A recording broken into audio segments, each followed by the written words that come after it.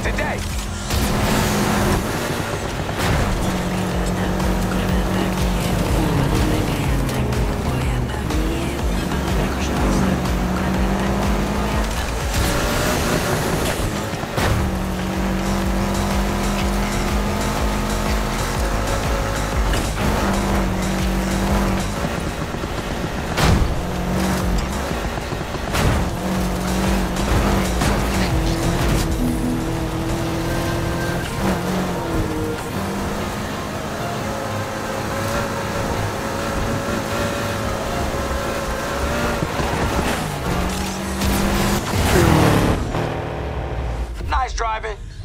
Guess you'll be wanting that grill now.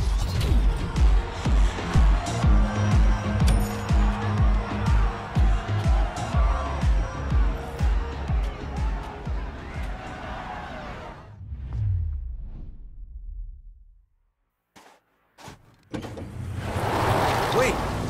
The hell? It's not his fault. I told him to leave. You what? Why?